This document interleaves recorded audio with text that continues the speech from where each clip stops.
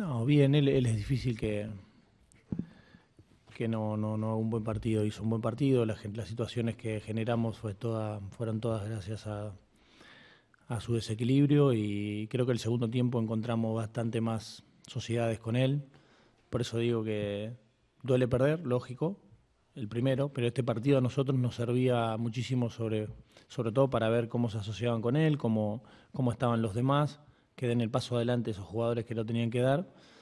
Y el segundo tiempo, bueno, quedamos, no digo satisfechos porque el resultado no, pero sí es verdad que hemos sacado conclusiones de que jugadores que, que pueden hacer con él cosas lindas, ¿no?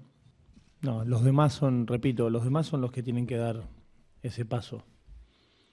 No, no tengo dudas de eso. De hecho, el segundo tiempo creo que el equipo lo entendió mucho más.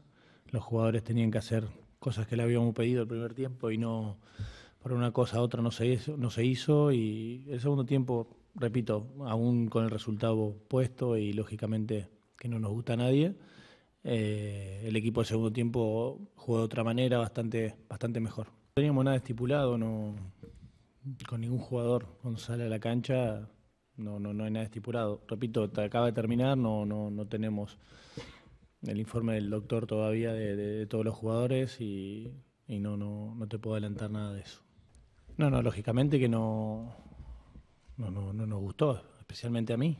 Eh, el segundo tiempo sí, eh, intentamos revertir la situación. Eh, la verdad que el segundo tiempo deja cosas positivas, pero el primer tiempo, lógicamente, dejas cosas negativas y es mejor que pasen ahora y no pasen más adelante. Eh, desde el punto de vista del futuro creo que es mejor que, pasen ahora y, vuelvo a repetir que a nosotros nos sirve mucho este partido.